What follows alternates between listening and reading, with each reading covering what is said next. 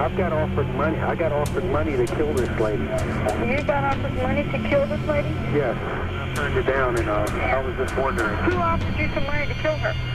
The husband. He was going to give me his address and everything. Uh-huh. And he wanted me to go kill her. They was going to pay me $10,000. Who was they? The husband. Uh, well, see, I was seeing this girl named Deidre Michelle Hunt. Uh-huh. He was having an affair with this guy. See, this guy named Kosta, Kosta or Kosta, whatever his name is, paid somebody to do it.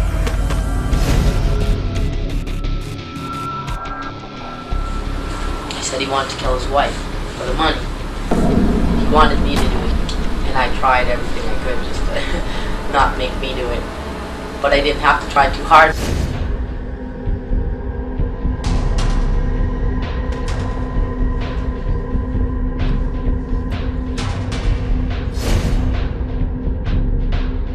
Shot him three times in the chest